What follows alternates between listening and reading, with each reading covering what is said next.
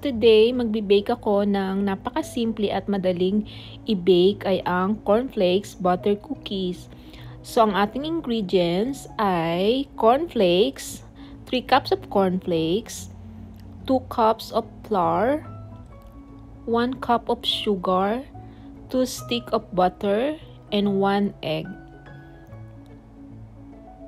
So, let's start!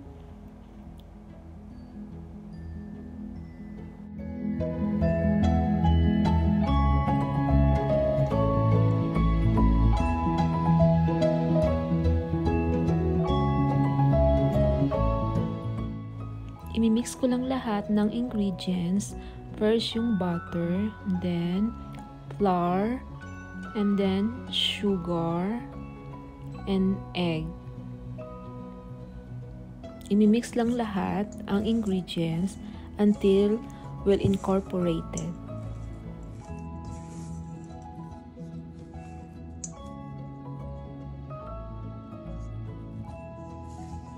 For this mix, we can make 12 to 15 cookies.